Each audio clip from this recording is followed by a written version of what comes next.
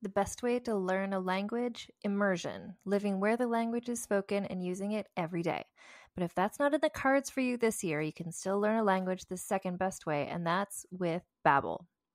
Be a better you in 2024 with Babbel, the science-backed language learning app that actually works.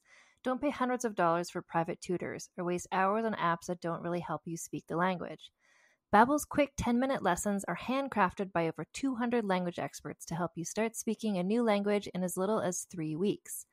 Babbel's designed by real people for real conversations. Babbel's tips and tools are approachable, accessible, rooted in real-life situations, and delivered with conversation-based teaching so you're ready to practice what you've learned in the real world. For instance, I've been using Babbel's convenient courses to help me learn basic conversational skills in German while I'm getting ready for a little trip I'm planning. It's not a language I'd ever studied before, but I find the lessons really easy and kind of like hand holding me through learning a completely new language to me. And it's reassuring to know that with the help of Babbel, I'll be able to greet people, order food, and ask for directions without having to consult language apps while I'm in Deutschland. I'm still learning. Studies from Yale, Michigan State University, and others continue to prove Babbel is better. One study found that using Babbel for 15 hours is equivalent to a full semester at college. Babbel has over 16 million subscriptions sold. Plus, all of Babbel's 14 award-winning language courses are backed by their 20-day money-back guarantee. Here's a special limited-time deal for our listeners. Right now, get up to 60% off your Babbel subscription, but only for our listeners at babbel.com slash vulgar. Get up to 60% off at babbel.com slash vulgar, spelled B-A-B-B-E-L dot com slash vulgar. Rules and restrictions may apply. Ah, the web tour. Those that both creators and were created by the threads disentangle from the fringes to feast on the very thing that spawned them. What's that, Ciri? This is how you deal with weird! no! Do not harm my children! Oh, you lost a feather. Can I keep it? No, you can't force me to! Do you know what lies within nothing? Rocken is in trouble, Akasa! Can, can we turn on the wind show remotely? No, she could lose her job as an Akasar. I don't fear Vehar. No, but you fear me. If you intend to trick me, I will not hesitate to sever the oath bond entirely. Why didn't you help me? Coward! I don't have a parachute! I don't like free falling! Counterbalance, a high fantasy audio drama. Season 2, coming 15th of October 2023. Learn more on trilunas.com.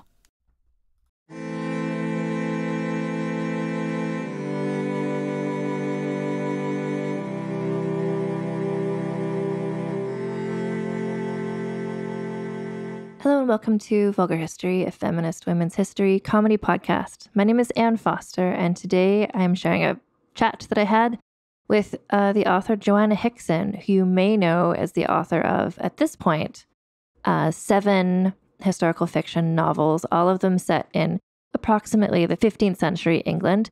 A lot of them have to do with Tudor history, although in our chat, she explains how her first book is technically not about the Tudors with the occasion of this chat was the paperback release of her most recent book, The Queen's Lady, which tells the story of a very interesting woman from the Tudor period named Joan Vaux, who it's just incredible this woman's story and also her connections to so many of the most famous events of the Tudor era, really. We also talk about Joanna's other books. So please enjoy this chat with author Joanna Hickson. Okay, so I am joined here today by Joanna Hickson, author of, I believe, is it seven books about Tudor women? Yes, it is. It's seven, although they weren't all Tudor because I began at the beginning oh, true. of the century uh, and she was a French queen. Um, but then she um, married Owen Tudor and started the Tudor dynasty, really. Let's talk about that first. So, your first mm. book, and who that was about. That was about Catherine de Valois, who was a French princess the, um, and married King Henry V. And that was after the Battle of Agincourt. And if you know your Shakespeare at all, um, you'll know that there was a lovely scene in that play between him and Catherine de Valois when she was offered to him as a sort of uh, someone to cement the uh, triumph of, of uh, Agincourt because he'd won over France, and so um, he he. There's a lovely little scene when he woos her and she tries to push him off, kind of thing. At the end of Henry V, Shakespeare's Henry V, and that was really what brought me into the whole thing because uh, I read this at school. Uh, I studied uh, English, obviously, at school, and uh, I I loved this scene and I loved this character. Uh, and I thought, well, there must be a story in that. And so I went to research Catherine and how how she got on after all this happened. And um, then I wrote the book, um, which never got published at the time. It took mm-hmm. about 20 years for me to get published. but then I had to rewrite it completely in a completely different way. But that was that's a that's a long story. And but that is the sort of basis of because she having uh, married Henry V and had Henry VI, who was the next king of England, um, Henry V died uh, very soon after that, and she was left a widow at 21, and um, obviously wasn't really wanting to stay that way all her life. So she eventually, but she was forbidden to marry um, because it was very awkward for the, the English uh, sort of people in charge of England at the time, and they didn't want her to marry, so they told her she shouldn't. And so she went off and she didn't marry at first, but she fell in love with this Welshman who was called Owen Tudor. And that's where the Tudor comes from, because eventually they did, we think they did marry, although there's no particular debt record of it. Uh, mm-hmm. So that, that's the, the beginning of the Tudors, really. And that was my first book. I really love that that was what your first book was about. And you've continued on doing these kind of figures, like how you described her in the Shakespeare play, who have a small part in larger stories. And it just made you think, well, there's a larger story there. So you're really looking at this era that, I mean, there's, it's so, there's so many books about the Tudor era, but you're, you're pulling out figures that haven't been examined to this extent. No, that's true, um, and that at the time that was even truer. But now there are quite a few books, uh, you know, about Catherine de Valois. Mm-hmm. Um, maybe it's a result of my my writing one, but uh, I don't think so. Um, you know, there have been other books, and and and other uh, histori- historians have covered her. But but she, I mean, it's the sign that that the, the women now becoming very important in history, much more important than they were when I first wanted to write about Catherine de Valois. And that was what egged me on, really, because I thought it's time that that women got a chance. You know, it's all very well doing these books about Henry V, but let's have a look at who he married and what effect she had on history. And my goodness, it was quite an effect. Well, that's the thing. I love, I love just from um, my own. I'm obviously I'm in Canada. I'm not in England, so I didn't study the Tudors and things like that in school. It's all just been my personal interest. So, just for me, going back to think to realize that it all comes back to Catherine falling in love with this Welsh. What was he? He was like not a servant, he, something with the horses or something. But uh, he he was her. Well, well, yes, he was a servant of hers in her household, and uh, I don't know what his role actually was, but I think he more or less ran the household. And he he had been in in the wars. He he served in, at Agincourt. So he, you know, he had been a soldier, and he, lots of those soldiers came into Henry V's uh, and then into Catherine's household. So we don't know a lot about his background, although he did have his parents were Welsh, and he he was born probably somewhere near Anglesey, if not in Anglesey, which is an island off the coast of, of, of Wales, but it is part of Wales and uh, and his brothers were involved in various revolts. And so there, there was plenty of history behind the family. Owen was was a lucky one because he was sent to London to learn the law, which didn't happen very often in Wales because um, Welsh there was no Welsh law; it, they were all under the English law at, at that time. So uh, he was he was an educated man but not uh, in any way uh, royal or or have any connection with royalty. And that's why, like today, I mean, just the name Tudor brings to mind royalty, and it really just started with this with this Welshman. yes, exactly, and and yeah. um, he was he was uh, you know he was called lots of different names by the chroniclers who had called him Tidia and Tudor and whatever they felt like saying because mm-hmm. the Welsh names were rather impronounceable by the English at the time. So Tudor was just the one that ended up being the one that was fixed. So your books are they all in kind of pairs um, of yes, two? So that was the first one, and then I, there was a two. There was another one on her because I did two on her marriages. So she was married first to Henry V, and I, I covered that. I covered her from birth actually, with a lovely, my favourite character I've ever written actually was in this first book. Her name was Mette, and she was the witness for Catherine de Valois, and she is an, uh, an invented character that I invented because I wanted to have somebody in her private life who knew everything about her, and this this was a good way of doing it. So she went, but she went right through her life and and past the, her death. Um, and so the second book that I wrote about Catherine was about her marriage to and how it to to Owen Tudor and how it developed which was quite a nice story, or a very romantic story. That's the most romantic story I've written, I have to say. Mm-hmm. You know, it's historical novels. It's quite hard to get nice bits of romance into them.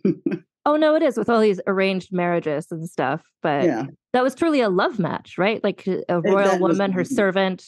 It's inarguably that was clearly a love match. That was definitely a love match, yes. And they had three and possibly four children I had her having four because I she had three boys and um, I wanted her to have a girl, so I gave her a girl. But I, I did something with the girl that you have to read the book to find out. Anyway. well, no, exactly, and that's where I, I was thinking, like, how can we carefully talk about your books without, which are based on history, but without spoiling things, exactly. especially because you're looking at figures who are not quite as well known. So, so the Agincourt Bride and the Tudor Bride, those are the two about her. Yeah. And then your next duology um, was uh, Cecily Neville was the main yes. character. That's right. Yes, but she was the the, the almost queen. Um, she never actually managed to be queen, but her son was, was king. She had two sons who were kings. Um, Edward Fourth and uh, Richard III. Uh, quite quite famously, two of her sons were kings. Yes, yes, and she uh, so she was an amazing character. I mean, that she was a brilliant um, character to write because there was so much about her that was was actually recorded, which is very unusual for for women. Very hard to find, you know, records in in research that will fulfill, you know, a, a major novel about them, um, and, and quite a bit of making up sometimes has to go in which which I love doing anyway. But um, it, you, you, know, that's where the historian, the true historians, in inverted commas, tend to um, downplay historical fiction because they don't believe it's really history. But that's where I think figures like this, where there's not enough history to maybe write a traditional nonfiction biography about them, but the story has so many elements that makes them ideal for fiction, and that's the way you can make them better known, share their stories. Indeed. And and this, um, I mean, I think uh, Cecily was always pretty well known. She was from a very high-ranking uh, aristocratic family uh, from the north of England, and she was the youngest of twenty-two children. I did not know that. Oh my gosh! your face. Twenty-two. your your mouth dropped open. um, yes, it, it, it, there were two wives actually. Um, so that perhaps makes it more obviously possible. Um, but you know, still hard work, I think, for both of those wives.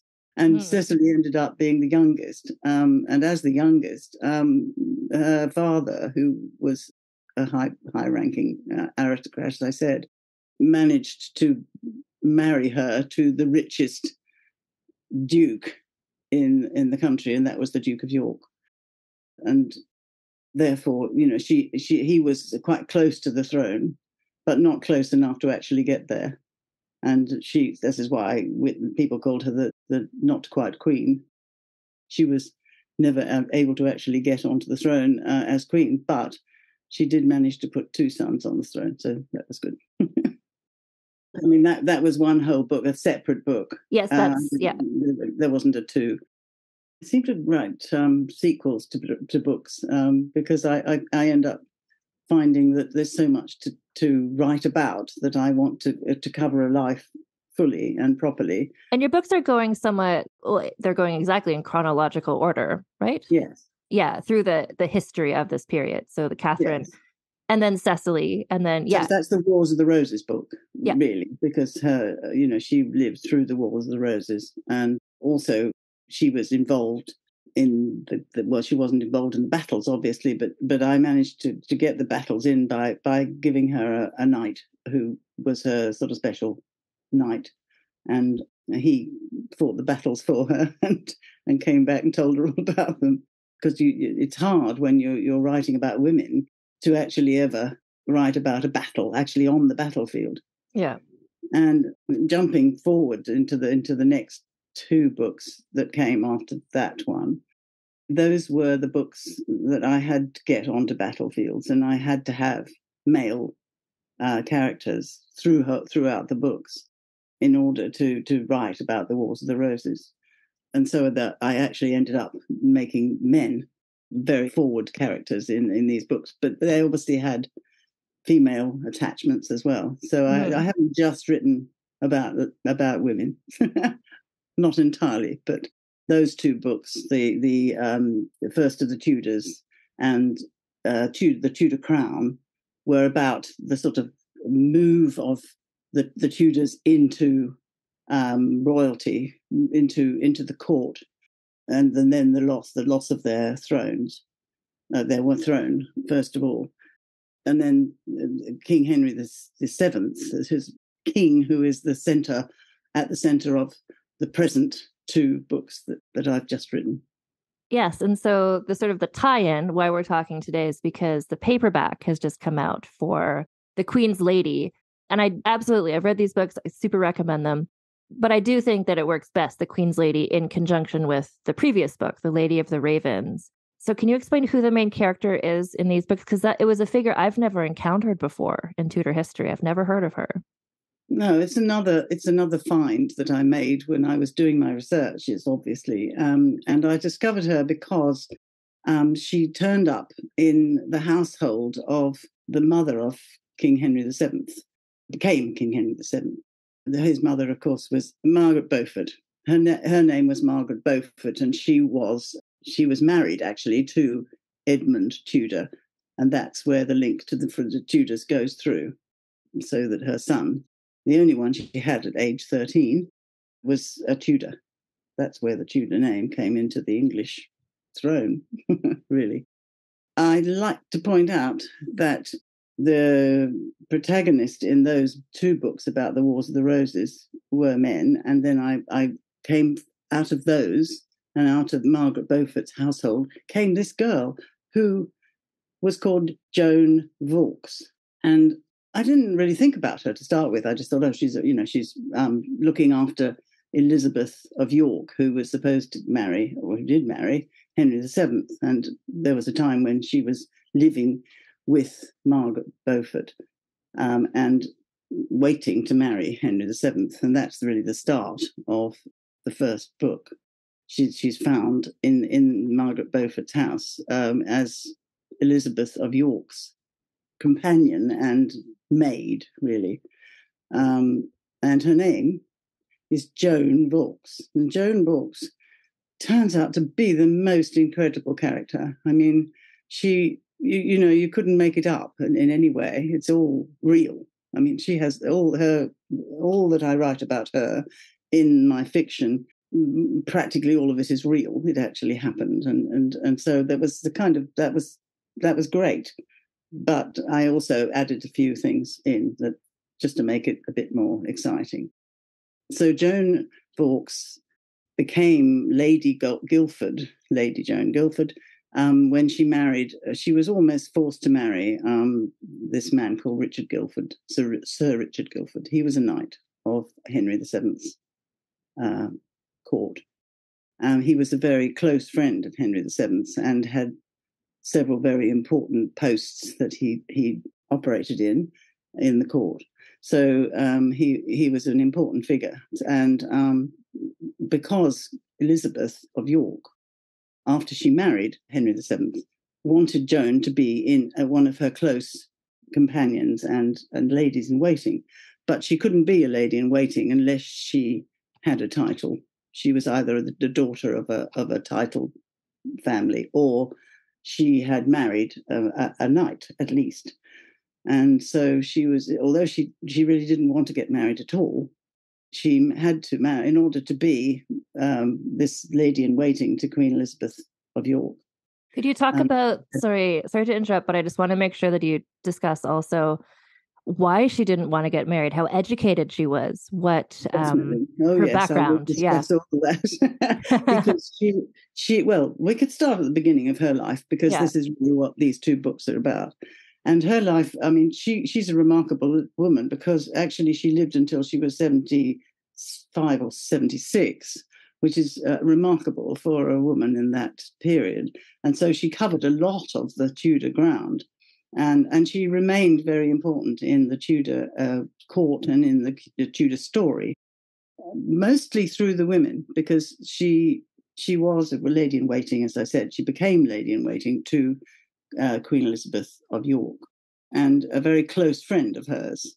And uh, having married this Sir Richard Guilford, she had a child whose name was Henry because his father wanted him to be called after the king um, which meant that everybody in the world was called Henry, who was masculine. so, so uh, I, I had um, Joan call her child Hal because it meant that he, at least we knew who he was, as opposed to all the Henrys that were around him. Anyway, that's a, a side side story. But um, the amazing thing about her was her education, and she she was, and we don't know where she was born because her mother was Italian, and her mother came into the country in the household of Queen Marguerite, as I call her, Queen Marguerite of uh, who of Anjou, who was married to King Henry VI, and uh, she came in through her court with her mother. Um, so her mother married one of the the uh, knights in that court, and so she was um, able to be called an English citizen because she was born in England to a woman who was also uh, was Italian, but was living and married to an Englishman. And so there she is in the court of uh, Henry VI. But on the way to, to doing that, she, she was probably born during the Wars of the Roses when the English court had fled to Europe because Henry the uh, sorry um, Edward IV had come into the country and was um, on the throne, and therefore the Lancastrians had lost their power and were shoved out, and a lot of them fled to Europe, and among them was um, the father of Joan, uh, this Joan of, of uh, Vaux. His his name was Vaux, and um, we don't know where she was born, but probably in Piedmont, which is part of Italy now, but it's the other side of the Alps to Anjou, which, which is where her mother eventually. it's all very complicated, but basically, she learned two languages before she even left Europe. So she was a child in a, in an Italian um, country, and uh, she she learned Italian and then she moved into France with her mother when her mother went to um, the court of the exile court of Margaret of Anjou. And she joined the children's schoolroom there and learned French. So she had two languages then. Then she came eventually across to England. And that's a long story, but I, I cut it very short because her father was killed in the battle, one of the battles of the Wars of the Roses so she she became um, a, a, an orphan basically because her mother, well, people, children who uh, whose father died in those days were orphaned, whether their mother was alive or not. And um, her mother was alive, of course, but her mother was really almost attached um, in skin to Queen Marguerite and wouldn't leave her and couldn't leave her. I mean, Marguerite was desperate because her husband uh, was she didn't know where he was, but he was in the Tower of London, and her, her son, the Prince Edward that she had had with him, who was supposed to be the next king of England, had died on the battlefield as well. So she was fraught, and she was taken to the Tower of London as a prisoner, and begged uh, her Catherine Vaux, Joan's mother, to come with her. So she ended up in the Tower of London, um, and Joan ended up um, in Margaret Beaufort's house household um, because Margaret Beaufort was still in London and just about hanging on to some sort of life because Edward IV was on the throne. So during that period, um, she learned English, quite obviously, because everybody was speaking English. And she also learned Latin because there was a fantastic library in Margaret Beaufort's house, and it was filled with books, and most of the books were in Latin because that was the, the educational and collegiate and court language of Europe. So she learned Latin as well. So that's four languages she had. Now, I don't think there was another woman in England at that time who had even two languages, mm-hmm. let alone four. So that was pretty amazing and it got her a long way in life.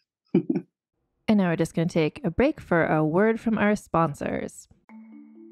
As a podcast network, our first priority has always been audio and the stories we're able to share with you. But at Realm, we also sell some pretty cool merch, and organizing that was made both possible and easy with Shopify. When you think about successful businesses like Alo or Allbirds or Skims, an often overlooked secret is the business behind the business that makes selling and, for shoppers, buying simple. For millions of businesses, that business is Shopify. That's because nobody does selling better than Shopify. It's the home of the number one checkout on the planet. And the not so secret secret that's definitely worth talking about is that ShopPay boosts conversions up to 50%. That's more happy customers and way more sales going. If you're hoping to grow your business, your commerce platform better be ready to sell wherever your customers are scrolling or strolling on the web, in your store, in their feed, and everywhere in between. Businesses that sell more sell on Shopify. Upgrade your business and get the same checkout we use with Shopify. Sign up for your $1 per month trial period at shopify.com slash realm, all lowercase. Go to shopify.com slash realm to upgrade your selling today. Shopify.com slash realm.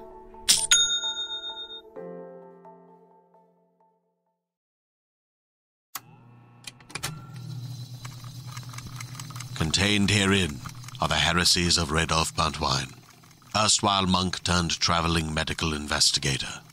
Join me as I study the secrets of the divine plagues and uncover the blasphemous truth that ours is not a loving God, and we are not its favored children. The Heresies of Radolf Buntwine, wherever podcasts are available. People often look at me with confusion when I ask them what their only one in the room story is. They think it has to be like mine, where I went to a 600 person event and discovered that I was the only black person there. I know.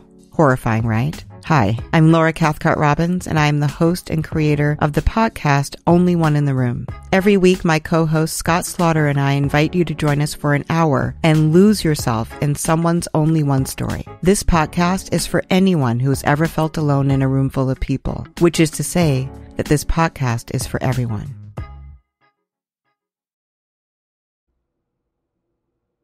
And we're back.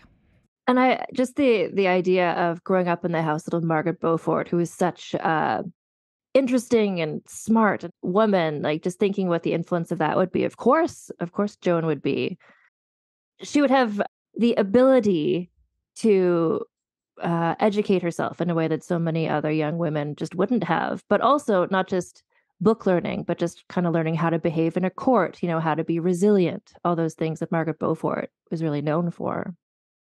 She did indeed, and that, that was a great help to her. And, and she was uh, Margaret Beaufort was very fond of her too, and and very fond of her mother. Uh, they were best friends because they'd served Marguerite of Anjou when they were in her court years before. So they were friends, and there's you know all these links in, in the courts of, of, that at that time were, were quite interesting. Um, so, but but if you're following Joan, I mean, Joan was once she had married, uh, into um, the sort of royal situation. She could become a lady in waiting, as she was Lady Guildford, Lady Joan Guildford. Mm-hmm. Um, and and she also, because of this, um, had an apartment in the, the Tower of London. So Sir Richard Guildford was had this house in the Tower of London. So Joan was able to live with him there because he was the master of ordnance and armaments, which was the king's uh, obviously one of his main uh, appointments. It's very important when you're trying to hold on to your throne to have a good a good man in that position. So um, they lived in a house in the Tower of London, and that's why the first book of these two is called The Lady of the Ravens, because as we all know, um, the ravens were a very important part of the, of the uh, Tower of London's life. Um, and it was there was it was believed that by the by the locals in London that if the ravens left the tower, um, the tower would fall, and and so would the kingdom. So, you know, the, the whole point of, of having the ravens there was was to keep them there for this reason. And and Joan became very fond of them anyway. That, that's all in the book. So uh, mm-hmm. if you if anyone's interested, they can read it. Uh, but the one thing I did find very um, enjoyable was uh, researching the, the, ravens in the tower, and I went and visited the the, the Raven Master, who is a man a man of very nice man indeed, um, and he has written his own book. His name is Chris Skaife, and he uh, has written his own book about the ravens but he very kindly showed me all their tricks and, and uh, things and it was i had a great time in, in, the tower of london. I want to say sorry just to the listeners um, having read the lady of the ravens the i can tell that you you interacted with the actual ravens the the writing about them. It's very interesting and lots of interesting details. Mm, well they mostly come from chris skaife that's good um, so anyway, the, so she there she was set up in her Tower of London, and um, as a result of this, serving the Queen as well, that was difficult because I mean the Queen travels around the country. She, she had to go with her. She wasn't always with her husband. They had a very sort of patchy marriage, but it seemed to work vaguely. He also grew very fond of her, but he he'd already had six children by his first wife. He was an older man, and um, they, he had uh, properties uh, down in Kent. Um, and it was a nice, another nice piece of research that I was able to do to go to Kent and to look at the, the places in which they lived um, and, and where they owned, which they owned. Um, but there was one house that I was particularly interested in because it had actually belonged to Joan, not to her her husband, uh, but to Joan. And it turned out that he had actually given it to her um, the year after their wedding because he had admired her ability to look after his six children and and be his wife. Um, he found he, he, this was her reward. He gave her this house. It was a manor, and and and the manor that went with it. And so that proved very important later on in her life when she needed it. Um, that that came in the second book. Mm-hmm. Well, my question actually is when you finished the first one, did you know you were going to do a second one about her? Yes. Yes, I did because I knew that there was a big story there. Yeah, it, it was you know impossible not to to do two books because they were so different. I mean, I think you know the the, the book where she actually is at the court and is and and, and the court is um, straining uh, against all these um, conspiracies against the new king because Henry VII, of course, came in and, and nobody knew who he was. I mean, who is this Tudor man who's just suddenly sat on the throne? You know, they it was a very difficult time in that court. And um, and when he married Elizabeth, um, there was a lot of Yorkist um, thought that she should be the queen, not him, the king. So that's a, a, another storyline. And of course, um, Joan went through all this and, and went through all most of uh, Queen Elizabeth's pregnancies, not all of which were, were happy. So there, there was that side of it as well. But um, also her son, her own son, who she managed to have and never had another, sadly, another child. Um, but she had an appointment because of her connections in the, the, the nursery of the, the king's family in which is which was in Eltham Palace, um, which is just outside London. and um, she became governess to the to the girls uh, who were born to that to the king's marriage, and um, that was another sort of um, angle for her uh, importance in the court. And her son went with her and became a very close friend of the next king. Was we didn't know it was going to be him then, but but it was Henry VIII eventually, and so he was a good close friend of Henry VIII's which was was you know, pretty pretty well um, uh, made Joan important as well. And because she was so educated and, and spoke all these languages, she met Erasmus, who was the important um, scholar of Europe at the time, and came, came into England and wanted to visit uh, the children of the king to see how how their education was and what what what they were representing and uh, he he met Joan there, and he he found her very interesting and spoke long with her on the two visits that he made, and um, wrote later to tell the, the world that this this had happened. So that again was an important bit of, of think of research that I could get into the book. It it was massively uh, important. She was massively important to that family, that family of uh, kings, queens, and princes and princesses. The second book, if we move on to that, I mean, she she she actually served for four Tudor queens, which is a, a remarkable achievement, really. And she also managed to do it despite the fact that her husband was in was put in jail for apparently being an um, embezzler of royal funds. So I mean, it it was a, it was a very active life. I was just thinking um, when I was reading the books and then later just quickly reading a bit about her historical biography. I mean, what a gift to you as a writer of historical fiction. All the situations she lived through, just one after another. Like, and the fact that she maintained her importance and her role really speaks to how valued she was, how trusted she was. But just the amount, like, you get into, again, I don't want to spoil the books, but there's so much happening in that royal court, and she's right there. And she would have been in real life. Yes, and uh, that was what was so so marvelous to discover because because as you say, it hadn't really been shown. And the funny thing is that um, Holbein, you know, came into the court of Henry VIII um, and painted all these paintings of people. And there is a painting um, of Joan Guildford oh. uh, among them, but it's not Joan. It's it's actually the the the wife of her son. Oh, Mm-hmm. Um, sadly, uh, you know, because a lot of people think that that is Joan, and I'm very happy to be able to tell the world that it isn't, because actually she's not very beautiful, and and not not, and I think Joan was probably a lot more handsome than this woman who's painted by Holbein. It's a great shame, really, but uh, but it means that she wasn't uh, in history. She hasn't been so important because there isn't a portrait of her in the court and I think that's imp- that that's important to say because uh, you know women didn't have, uh, however clever and, and brilliant they were, they didn't have the uh, I suppose the pizzazz in the court, and it wasn't it didn't get through down to history until later.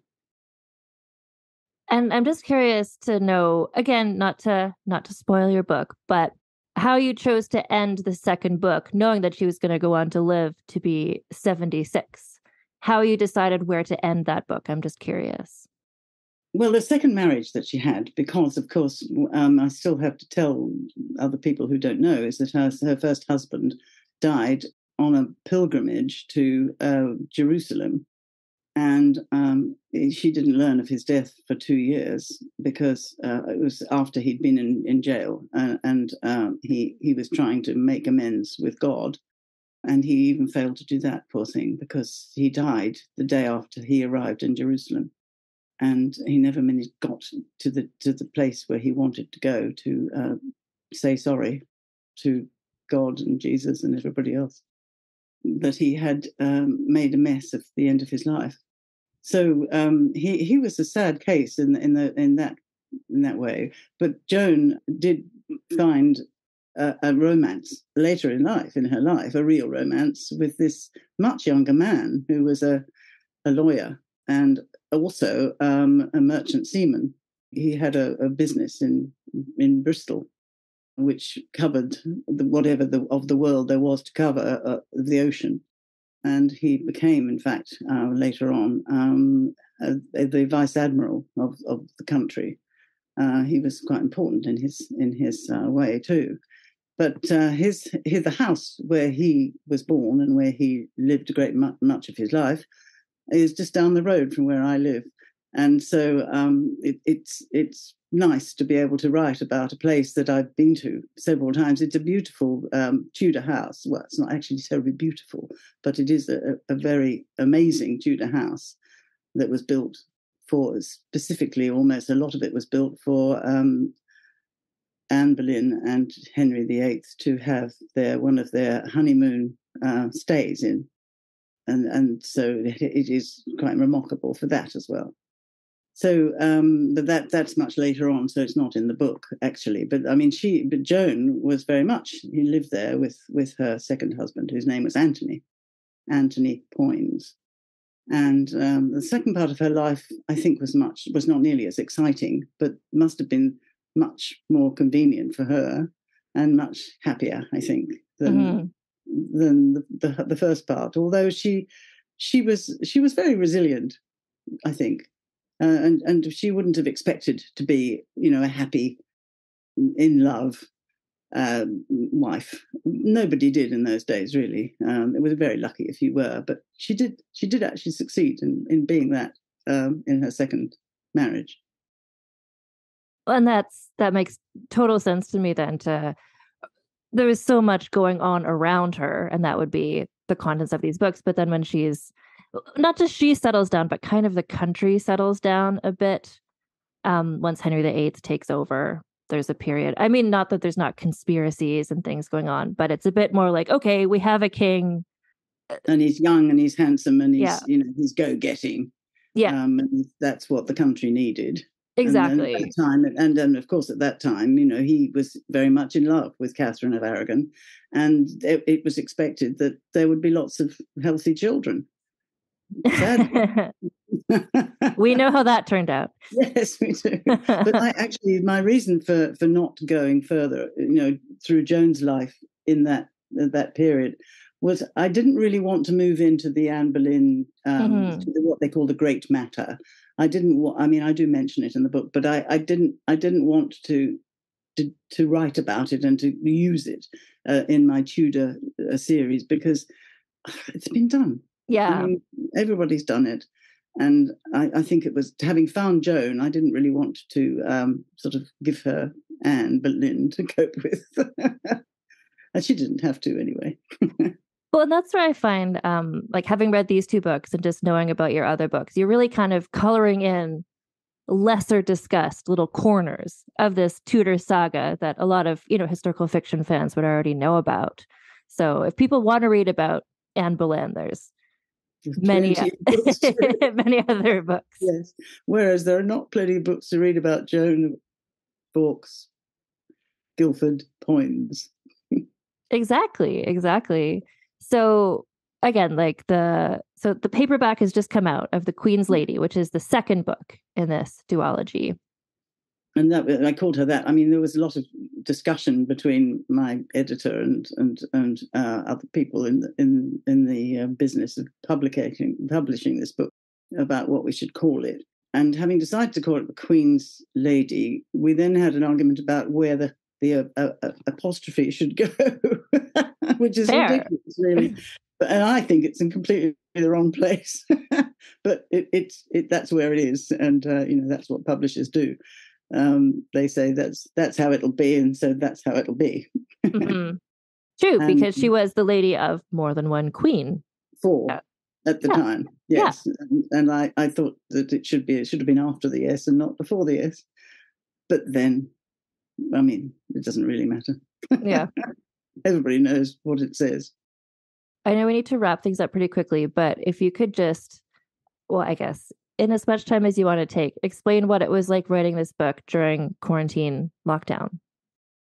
Yes, it uh, it was good actually. Um, I think the I think the lockdown was quite good for writers in, in general, unless unless they they got sort of sick or something. But um, I didn't I didn't I did manage to escape all that. So I'm what's called a COVID virgin. I think. you know, I, I, I found it quite good to be able to uh, use the time. And I must say, um, now that we're all out and about again and doing a lot of things um, that we used to do before uh, COVID, I'm finding it very difficult because now I'm writing another series of books, another pet two, uh, about the Seymours. And um, I, I, you know, I'm finding it much more difficult to actually uh, get that down on on the computer than I found doing Joan. Now, I don't think it's because um, I haven't got the character that Joan was, and I, I wanted very much to cover her life. Uh, it's because I mean I want to do the Seymours. They're very interesting as well, and and not much known is known about them and how they got to where they got. So um, I'm you know I'm I'm fine, but I'm finding it much more difficult. You know now that we're not in lockdown to actually get that all down because I have so many other things going on in my life, and uh, mm-hmm. uh, you know we we got quite quiet during lockdown. So for me, it was actually probably a very good thing. I don't know. Yeah. And also, people bought books, so you know when you got the first when we got the first book out, the, the sales were good because that was the beginning of lockdown, and uh, right, uh, yeah, and everybody was reading. so that was nice. Yeah. I would say that uh, it didn't really do me any harm. No, it's fair enough. And it, it just does put me in the mind of I don't think this is a major plot point in these books, but historically, the various pandemics and plagues that happened, I think a lot of people, you know, Shakespeare and people would just sort of lock them. It's like, what can I do but just write? It's it kind of puts me in the mind of of writers from 400 years ago to just, well, I guess I'll just write some books because everybody's staying at home. That's exactly it. Yes, I mean there were there were obviously the the, the, the sweat was the the big thing in the in the Tudor reign, and um, I didn't actually cover that because it didn't actually affect Joan, um, but uh, it, it, it was pretty important. But it it, it was only a, a, towards the end of my books that I would have used it at all. Uh, mm-hmm. Uh, because it didn't exist before that. And some people said, oh, it must have been what killed Prince Arthur, but it wasn't because uh, it, it wasn't there yet. We, it hadn't arrived so you know we're still that's still a mystery as to what he died of. Well and that's just it kind of speaks to uh, the amount of things that were going on when joan arc was there. So much happened during her life that you could just pick and choose which things to include in your book which i think is again really a gift as a writer.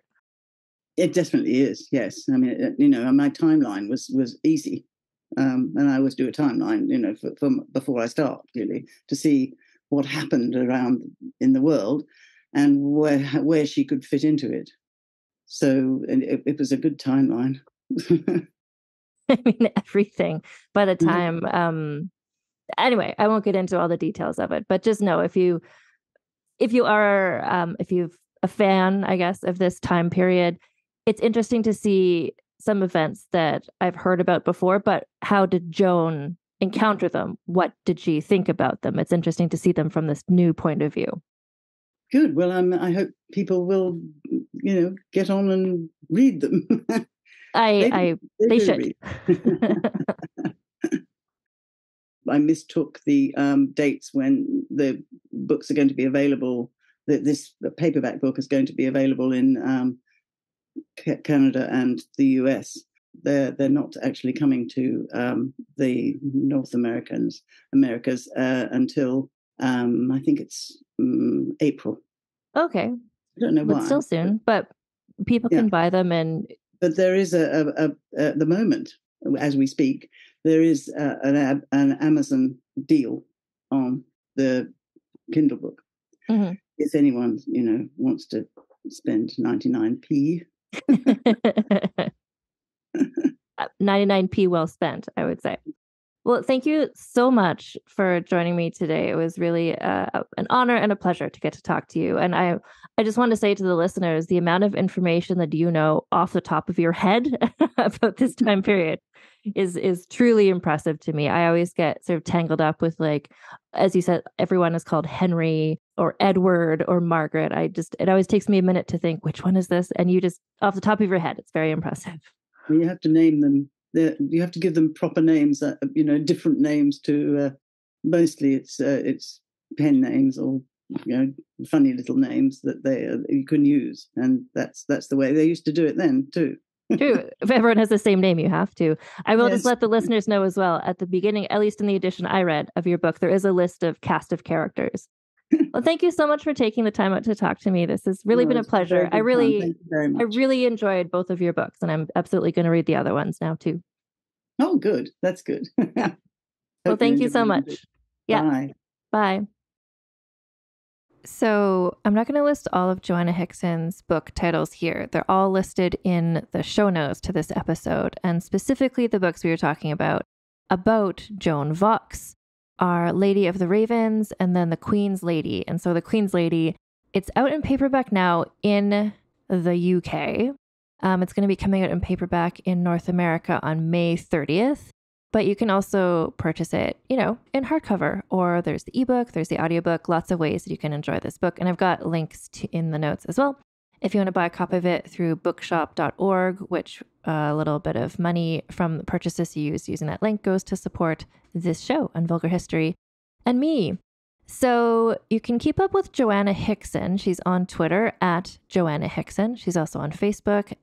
Same thing, Joanna Hickson. And you can keep up with me and the show on Vulgar History. We are on Instagram at Vulgar History Pod, also on TikTok at Vulgar History.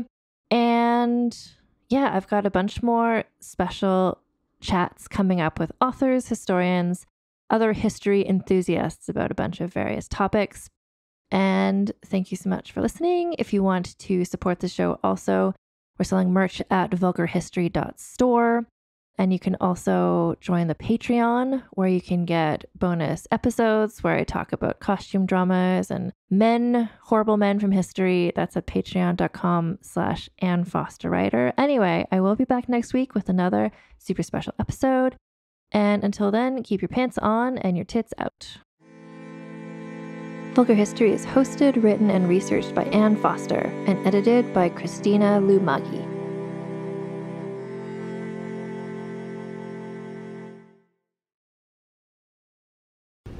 Talmor, Shishin Magachi. Talmor is my home. My family have worked the land for generations. My gran says the island does not belong to us, but we belong to the island. And we must be ready, for a great evil is coming. And death follows with it. Listen and subscribe to the latest season of Undertow, The Harrowing, a Storyglass production presented by Realm, available wherever you get your podcasts. Hi, I'm Jennifer, a founder of the Go Kid Go network. At Go Kid Go, putting kids first is at the heart of every show that we produce. That's why we're so excited to introduce a brand new show to our network called The Search for the Silver Lining, a fantasy adventure series about a spirited young girl named Isla who time travels to the mythical land of Camelot. Look for The Search for the Silver Lining on Spotify, Apple, or wherever you get your podcasts. I'm Brennan Storr. I'm Paul Bestall. We're the Ghost Story Guys. And every two weeks, we explore first person stories of encounters with the paranormal from all around the world. Then we have some fun reacting to those stories. We like to say our goal is to scare the hell out of you, then make you laugh. Belief in the paranormal is not required. All you need is a love of great storytelling and curiosity about the world around you. Subscribe to the Ghost Story Guys now on your favorite podcatcher to hear episodes like High Strangeness in Chicago, The Mystery of Missing Time, and The Haunting of Vietnam, along with dozens of others. We've talked about mythical bridges, doppelgangers, haunted seaside towns, and so much more. Remember that story about the guy who was trapped inside a dream and something was hunting him? That was that was upsetting. Yes, yes, it was. Want us to help ruin your sleep? Come find the Ghost Story Guys on Apple Podcasts, Spotify, and everywhere else fine podcasts live, or at ghoststoryguys.com.